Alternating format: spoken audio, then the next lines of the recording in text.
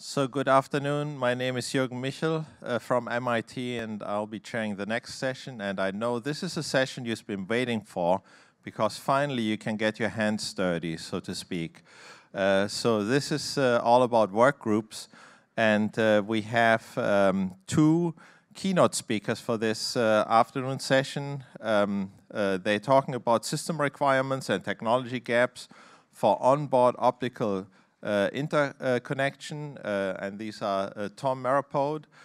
he is the Director of Advanced Interconnect Technology Development for Molex Optical Solutions, and then Terry Smith, who is Senior Staff Scientist in the 3M Corporation Research Laboratories in St. Paul. So I don't know who is going first, but I know uh, you're kind of a tag team, so Terry. Okay. Thank you. All right, so this, this presentation is meant to be sort of a warm-up for the discussions that come next. This is, uh, I guess, the first application in interest group to come out of these discussions. So what I wanted to do is uh, talk a little bit about how this, this group was formed, um, things for you to keep in mind when uh, you're having the subsequent breakout discussions and then um, do a little recruiting for the next phases of, of this program. So where do I go?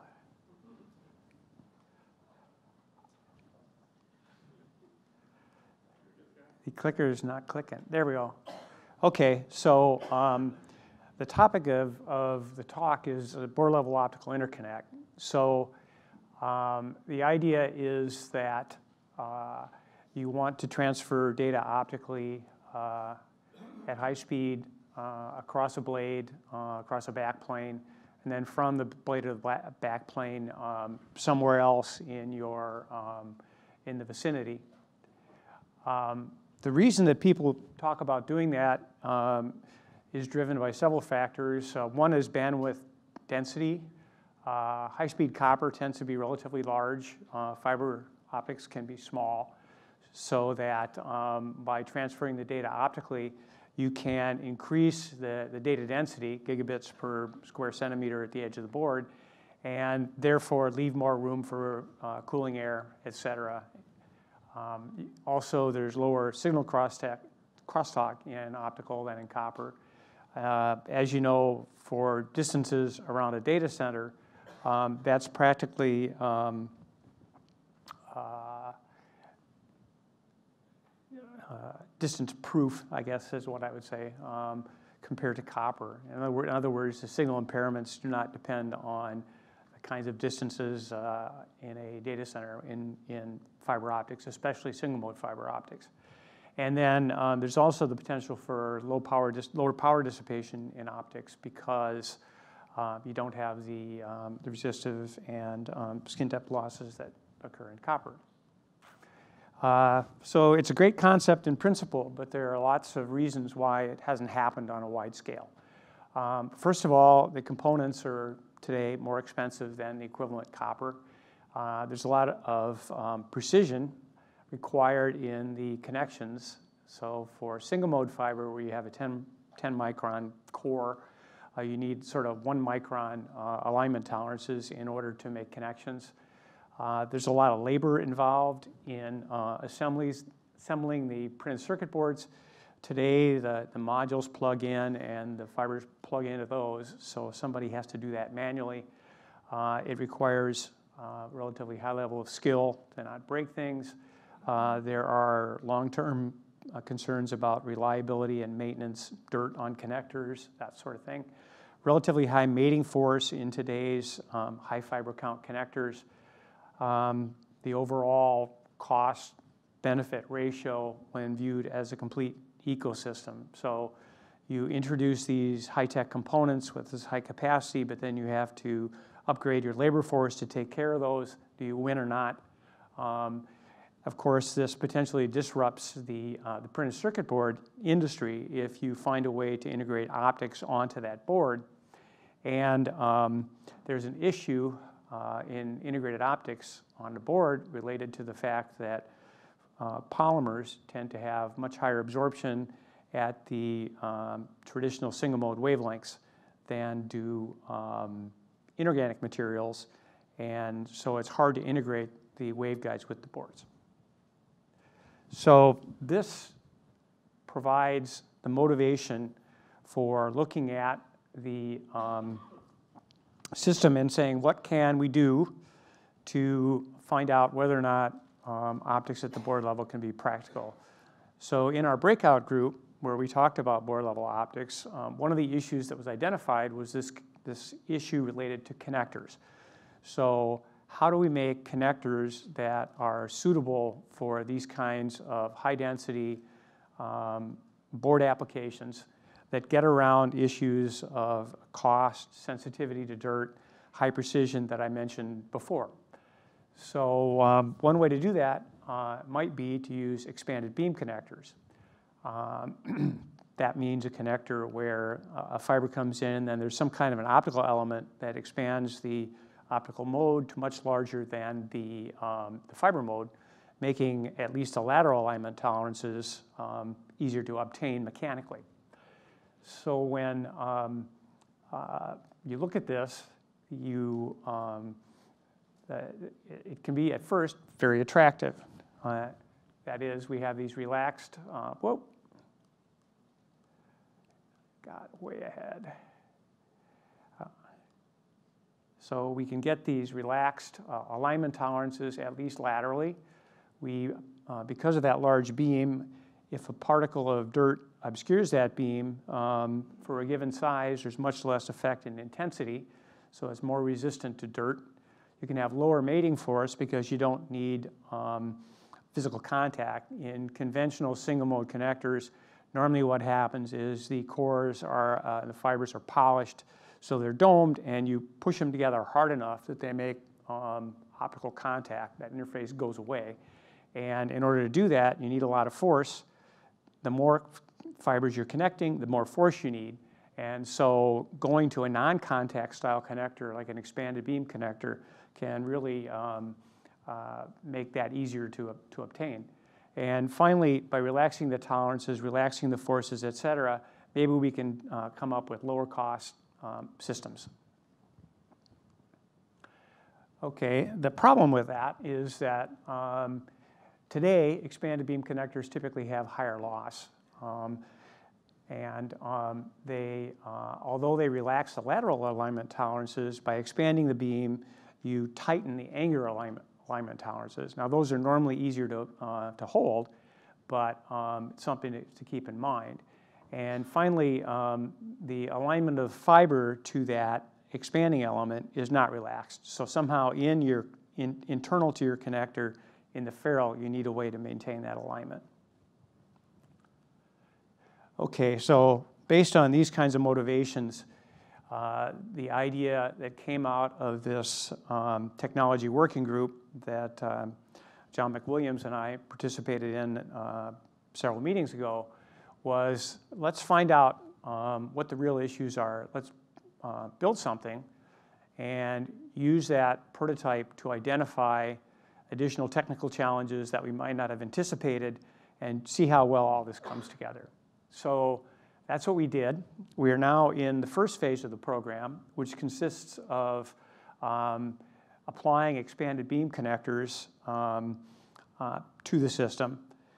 Um, but at this point, just expanded beam connectors. The next phases of the program, uh, where we're looking for more participants, are um, to use expanded beam connector interfaces at the module, and finally, um, in the third phase of the program, we'll look at uh, expanded beam interfaces to couple modules to embedded waveguides. So uh, uh, Tom Marrapode will tell you about the experimental work that's been done to date in, in phase one of this program. Okay, so this, this program is uh, an INEMI program. It's aligned with the roadmaps that was, were developed in AIM um, and here in the Microphotonics Consortium. Uh, an important thing to remember is that this is based on um, the roadmap um, belief that it is single-mode silicon photonics that will result in the most scalable approach for transceivers in the future. So we're not talking about multi-mode things here. We're talking about only single mode. And that has implications both in the tolerances and in the loss if you're going to uh, consider polymer waveguides for your embedded waveguides in, in a board. Um, so we're expecting um, the, the, transceiver cost to come down by leveraging CMOS foundries. And um, however, in order to leverage that, even if the chips are lower cost, as you've heard people say, um, the cost of a module is largely determined by the cost of the, uh, the packaging and the optical coupling.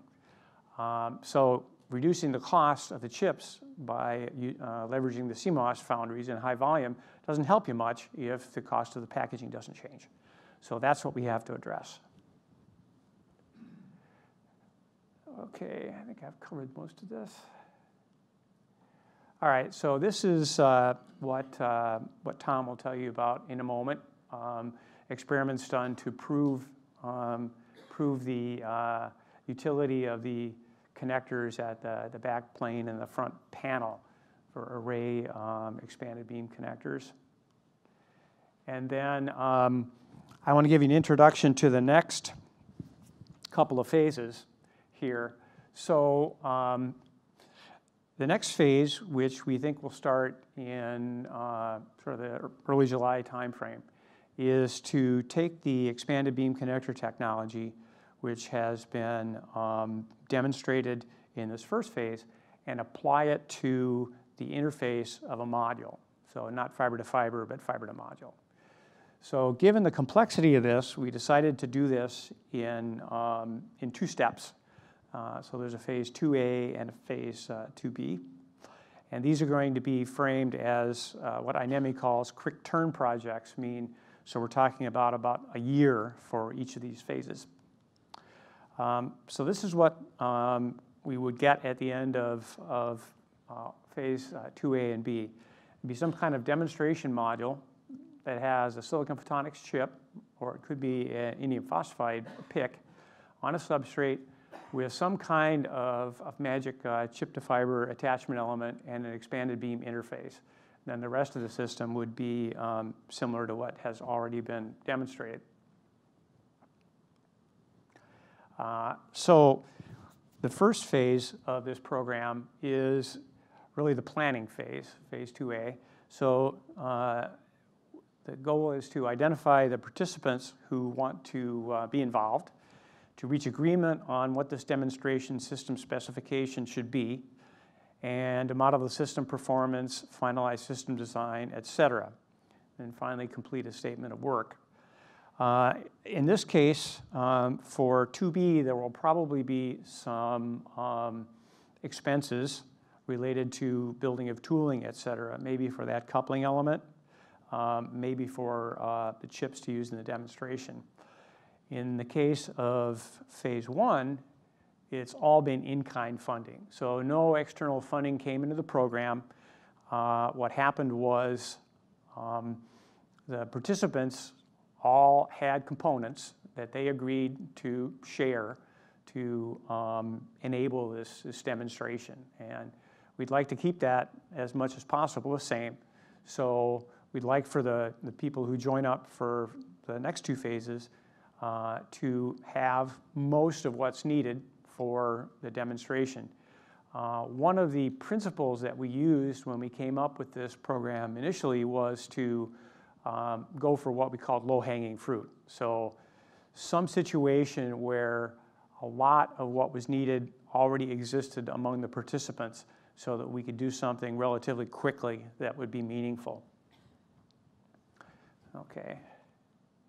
So um, the deliverables for phase two a then would be, as I said before, basically the plan for, um, for phase 2B, where the real experimental work would begin. I won't subject you to this chart, uh, but basically this is the uh, a layout of what the work would be for the first year um, of the program, as I said, beginning in July probably, Um, and leading to uh, the completed uh, proposal for for uh, phase 2B. For phase 2B, um, the goal is to actually um, build or source the components needed to build the board-level interconnect demo with an expanded beam interface on the module. And that, as I said before, may require some new tooling for which we may need some external funding. So part of phase uh, Two A is to identify uh, the source of that funding. And then the system will be built and tested. Um, so similar to phase uh, I, um, key metrics of the performance of the system will be measured: loss, um, signal integrity, et cetera. So the deliverables will be then a, basically an analysis of Uh, the performance that can be achieved using expanding beam interface on the on the module. Okay, come on there. Um, so in order to complete this um, phase two demo, we need uh, the following components. We need the expanded beam connectors, chassis, and flyover cable assemblies. Uh, those things um, mostly exist now based on phase I. We also need um, the uh, expanded beam receptacle and connector for the module, some kind of a coupler for the chip. We need the chip itself, um, uh, an interface to the um, module, uh, to the board or interposer, connector termination process, and chip coupling process. So those are the areas where we're really Um, anxious to find people who would like to join up and contribute to the program. Okay, so uh, in phase I, uh, some of the key participants who plan to continue include uh, Molex, US Conec, Senko, and Juniper that's doing the system testing. Um, but we need to fill out that complement with some of these other capabilities I just mentioned. All right, so to to wrap up, the uh, the timing of this thing looks like this. Um, we've held uh, an initial meeting to uh, talk about this to a wider audience um, at OFC. The next step um, to be done before May 30th is to recruit participants, get input from them, and basically generate a proposal that can uh, go to INEMI for approval uh, with uh, a goal of approval by by June 15th. After that, sign up in June and July. And we, as I said before, we hope to start the actual project work in July. Okay, so that's what I have to say. So thank you. So Tom will now talk about the phase one experimental work. Thank you, sir. I'll use this side because you all are looking at that side. Uh, good to see you all again. Thank you for having me here again. Uh, I'm going to talk about the project that I've been chairing. Um, and uh, exciting for this point in time is that we get to report some data, which is always good for a project. We're making progress. Um, so as Terry explained, uh, what we envisioned at the beginning was to do some of the uh, early fundamental work on measuring single-mode expanded beam connectors, which until this point did not exist in the marketplace. Uh, if you think back in time, you know, we've had a number of multi-mode, um, multi-fiber connectors, and then the lens version of that came um, probably five years ago. But the single-mode version of that has not been available. So that's a big step for the industry. And what we're doing here is um, you know, getting a group of companies together that had uh, some some common work going on, marrying those up with a a group of participants um, in some common direction of a multi-phase plan. So uh, we are looking to do something where um, we're self-funding the project. We're providing some context to a technology to the industry to give you confidence that these things are going to work as the devices start to mature and they can be used in systems, do system-level testing. And that just kind of helps the whole ecosystem move along and understand in a fairly early point in time that these things are viable or not. You know, so, so uh, knowing what doesn't work is also uh, very important, right? Uh, you know, that, that, that knowledge up front that you can build some confidence in how these things work um, is uh, very beneficial to the overall community. Okay.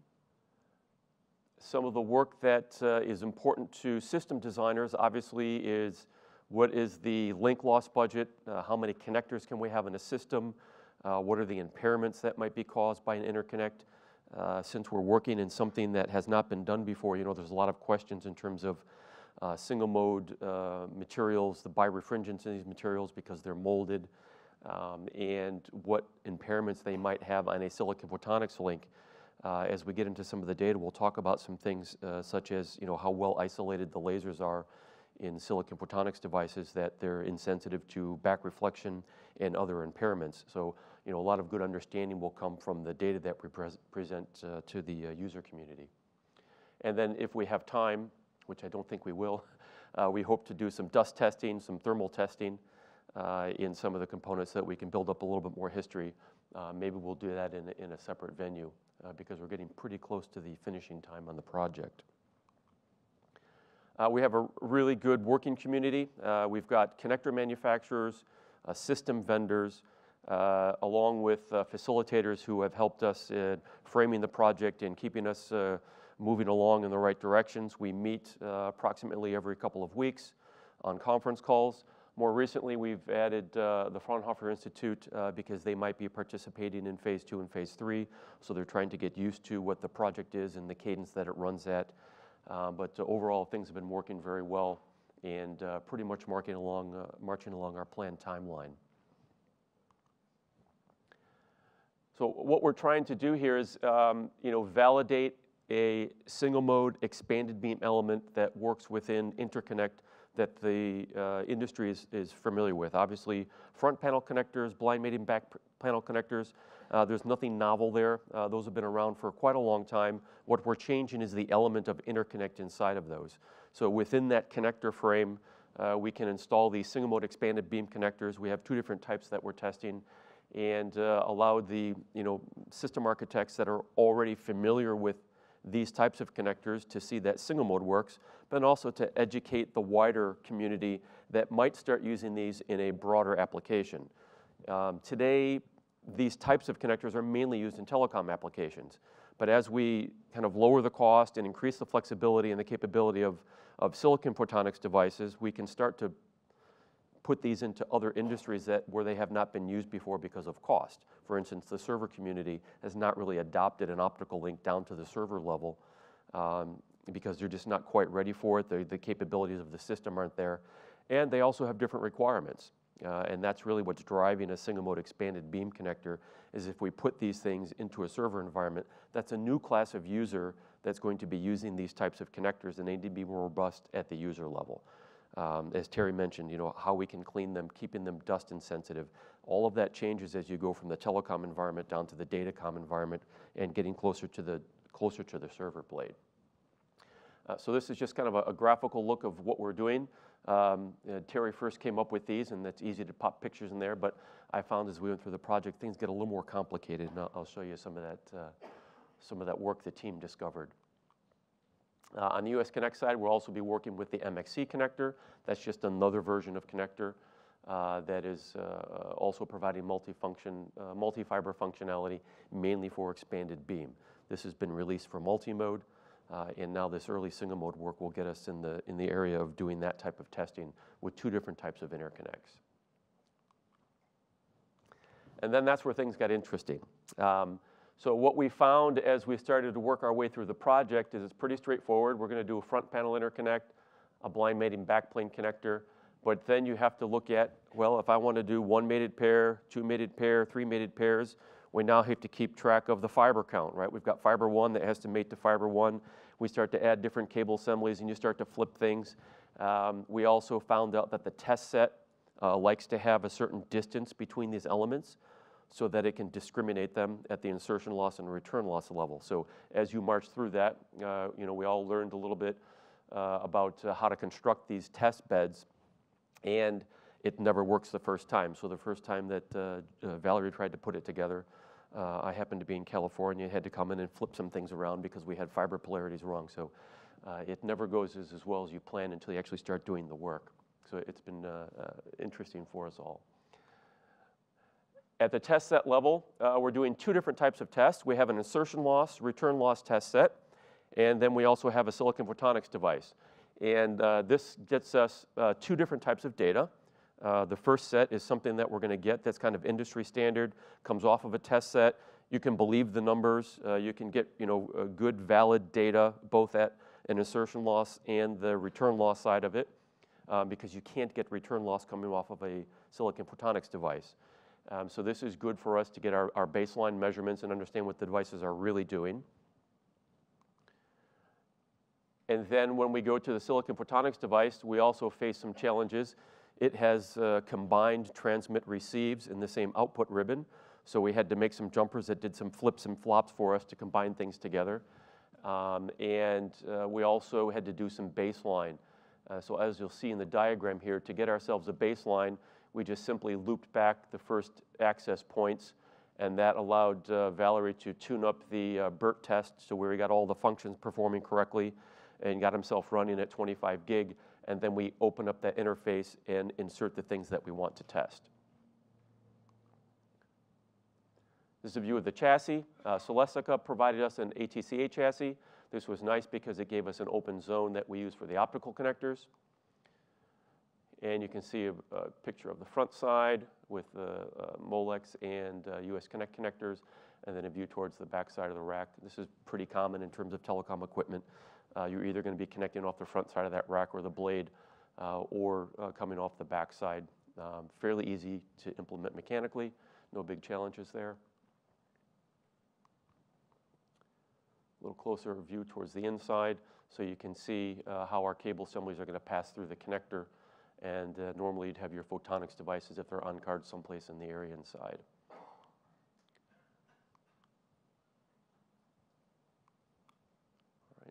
Uh, one thing we found was that uh, we hope to do one, two, three, four, and five mated pairs.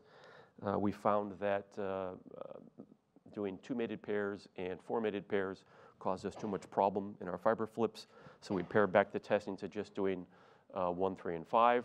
Again, it was okay because at least we had uh, both, both ends of that spectrum to test. And for some test data. Uh, if you look at the top row, this is both the uh, data presented from the insertion loss test set and then also from the silicon photonics device. And in general, the data correlated pretty well. Uh, if you understand optical modules here, where you're not getting a true sense of insertion loss from an optical module, you're getting what it thinks it's transmitting for power, what it thinks it's receiving, and then you drive those through the GUI. Uh, but in general, everything lined up pretty well with the actual measurements of an insertion loss test set. So if you step through this, uh, we had pretty good performance. Uh, you know, one mated pairs of connectors around a half a dB, and then as you aggregate all those together, this is five mated pairs of connectors um, at somewhere around uh, 3 dB. So that data looks really good, and uh, I've got a little more granularity to that in the next couple of slides.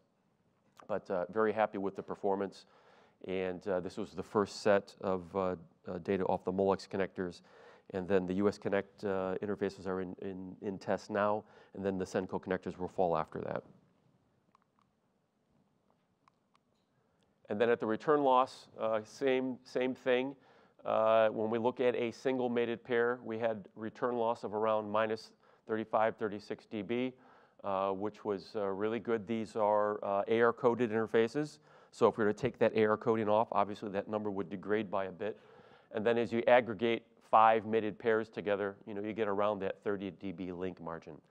Um, this will be important uh, when you start to look at this across different silicon photonics devices. As I mentioned earlier, uh, the module that we used had a very good uh, isolated laser, so it's not going to be impacted in terms of its uh, bit error rate um, from any reflections in the link.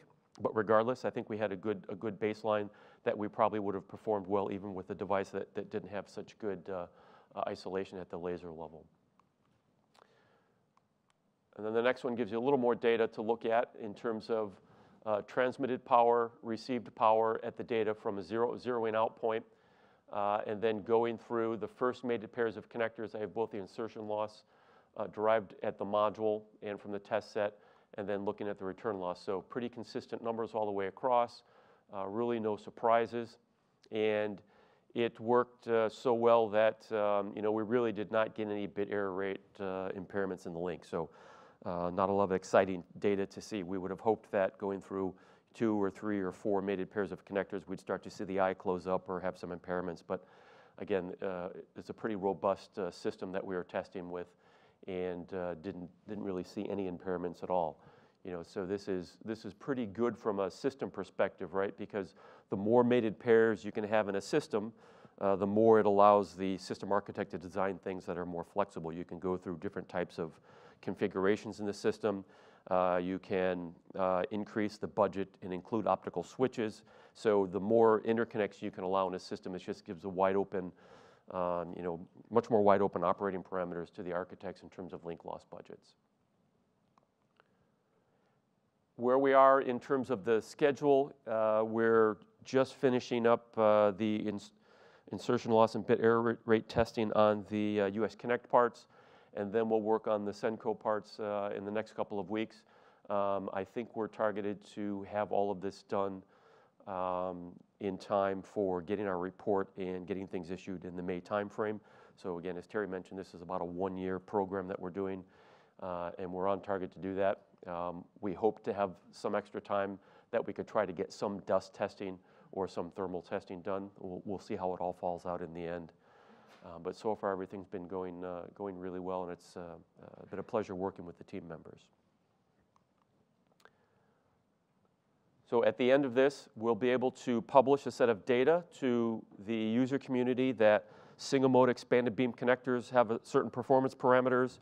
Their operation is not going to impair a, um, you know, an optical system that's running at least at 25 gig and uh, that gives them confidence that they can deploy these connectors uh, in an environment, and that also allows us to move to phase two and phase three uh, because we understand the parameters a little bit better. We know that we, you know, we don't have any things, uh, we're quite worried about birefringence in the materials when we first started for single mode because that can cause polarization sensitivity. Um, so it doesn't appear that we've got those types of problems, and it gives us confidence that in phase two and phase three we can move forward and, and not have, and have those fundamental things already behind us. I think that's the last one. All right, thank you very much.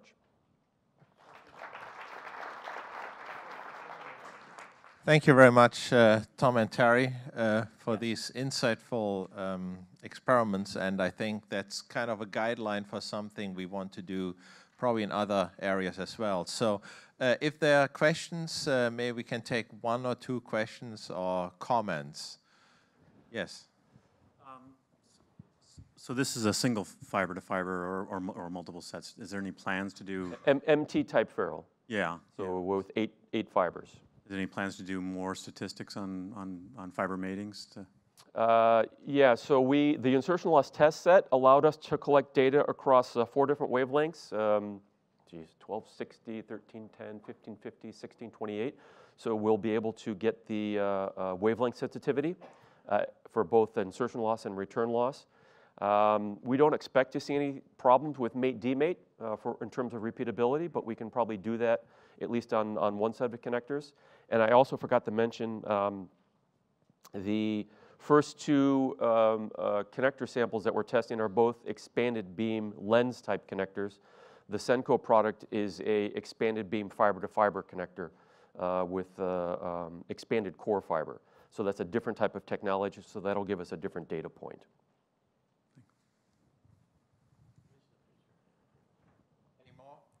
Questions or comments?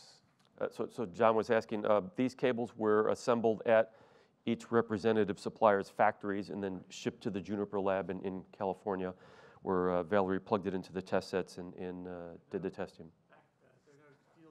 No, no, no. Thank you. Okay.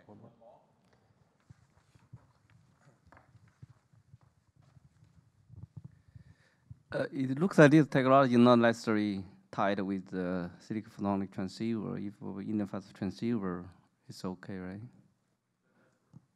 Okay, you. Photonics. Okay, thank you very much, uh, Tom, again.